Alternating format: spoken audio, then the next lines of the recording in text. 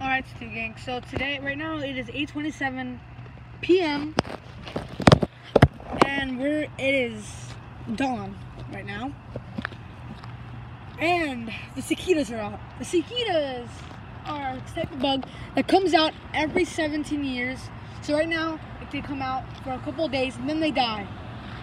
The next 17 years, they come out again. Right now, I just heard them, like, I heard them everywhere. I got so freaking scared, I had to make a video about it, alright? So we're gonna try to look for one. We're gonna try to look for one. I hear them around here, around lots of trees, because they do eat trees. So let's look for it right here.